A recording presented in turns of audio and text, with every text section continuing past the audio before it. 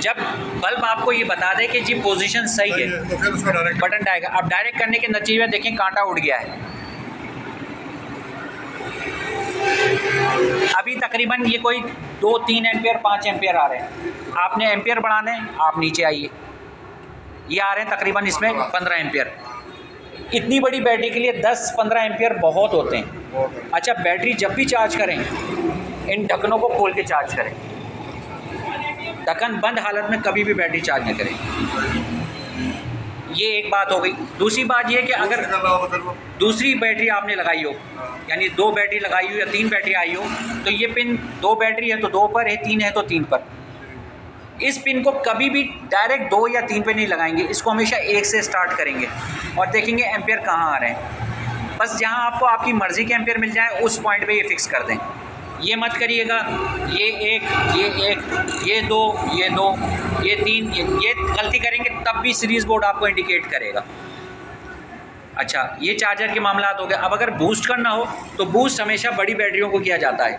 200 250 ये ट्यूबलर तो उसका तरीक़ेकार ये होता है कि ये पॉइंट एक पे लगा देंगे और यहाँ से एम्पियर बढ़ाएँगे। अब जैसे ये अभी आ रहे हैं तकरीबन पाँच सात एम्पियर आ रहे हैं। ये बीस एम्पियर आ रहे हैं। अब ये चूँकि बैटरी छोटी है तो हम इसको बीस एम्पियर से ज़्यादा नहीं दे सकते। इसी तरह हम नीचे बढ़ते जाएँगे तो ये एम्पियर बढ़ते चले जाएँगे।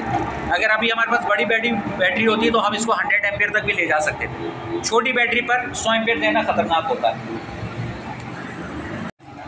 वालेकुम ये लिखा टू इंक्रीज़ बैटरी। 12 वोल्ट की अगर आप एक बैटरी लगाएँगे तो ये वाली पिन एक पे लगेगी। इसी तरह 12 वोल्ट की दो बैटरी, तीन, चार, दस बैटरी लगाएँगे तो ये पिन दस पे लगेगी। ये लिखा हुआ to increase ampere ampere charger की ताकत को कहते हैं स्पीड को कहते हैं, जो ये मीटर बताएगा और जो यहाँ से बढ़ेगी इस पिन के ज़रिए। अभी हमने 12 वोल्ट की एक बैटरी लगाई है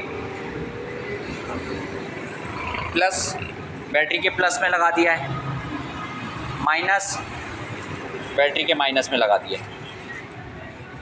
चार्जर हमेशा सीरीज़ पोजीशन पे स्टार्ट करें। सीरीज़ पोजीशन का मतलब ये है कि बटन ऊपर की तरफ़ हो। अभी हमने 12 वोल्ट की एक बैटरी लगाई, ये हमने एक पर लगाई। अब हम एम्पियर की पिन लगा रहे हैं। तो बल्ब मामूली सा जल रहा है। अगर बल्ब ज़रूरत से ज़्यादा ब्राइट हो तो इसका मतलब ये है कि कोई ना कोई गड़बड़ हो रही है। जैसे इस वक्त 12 वोल्ट की एक बैटरी लगी हुई है। मैं गलती से दो बैटरी का करंट देता हूँ।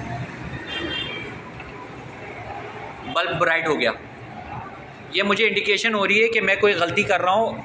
तो नुकसान से पहले मुझे ये पता चल जाएगा कि भाई कोई गलती हो रही है। इसी तरह अगर कभी भी कोई बैटरी उल्टी लगी हुई, जैसे ही आप पिन टच करेंगे पॉइंट पर, बल्ब ब्राइट हो जाएगा।